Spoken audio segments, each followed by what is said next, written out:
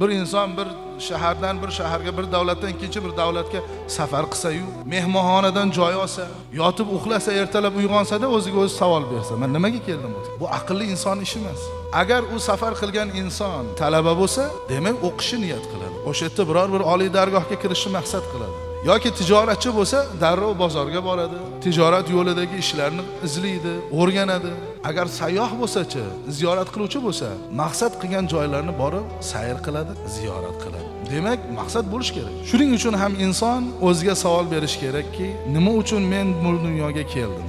Agar faqatgina yeyish ichish uchun keldim desa o'ziga o'zi javob bersin. Hayvonda ham yeyish ichish bor. Demak inson bilan hayvonni farqi maqsadda.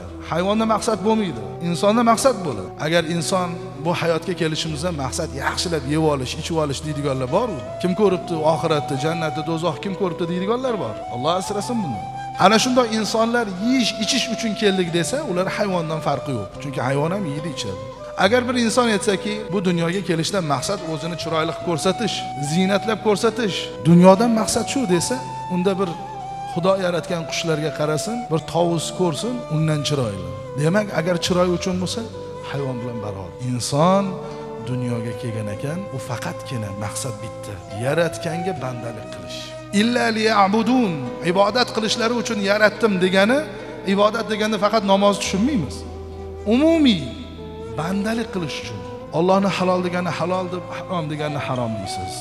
Buyurganini qilasiz qaytargandan qaytasiz. Va hayotda yashar ekansiz o'zgalar uchun qandaydir manfaat yetkazish yo'lida yashaysiz.